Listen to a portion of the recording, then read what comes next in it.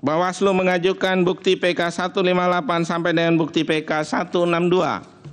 bahwa terhadap dalil pemohon demikian yang telah dibantah oleh pihak terkait dan Bawaslu serta dibuktikan dengan alat bukti masing-masing pihak khususnya alat bukti yang diajukan Bawaslu. Mahkamah menemukan fakta hukum bahwa tunjangan kinerja pegawai di lingkungan Sekretariat Jenderal Badan Pengawas Pemilu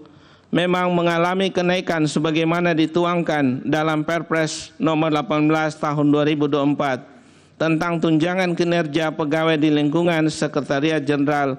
Badan Pengawas Pemilihan Umum bertanggal 12 Februari 2024 Vide bukti PK 162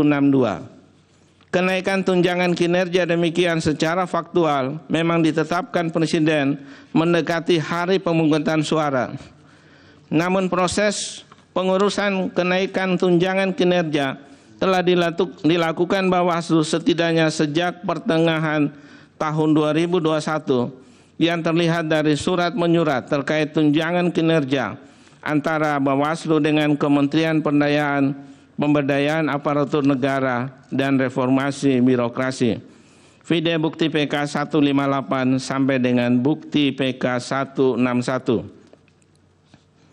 bahwa pengusulan kenaikan tunjangan kinerja bagi aparatur sipil negara atau ASN di lingkungan Bawaslu demikian menurut Mahkamah adalah hal yang wajar dan adil. Justru menjadi ketidakadilan manakala ASN yang sudah memenuhi persyaratan untuk memperoleh kenaikan tunjangan kinerja namun tidak diberikan kenaikan dengan alasan menjaga netralitas ASN bersangkutan in kasu Bawaslu dalam pemilu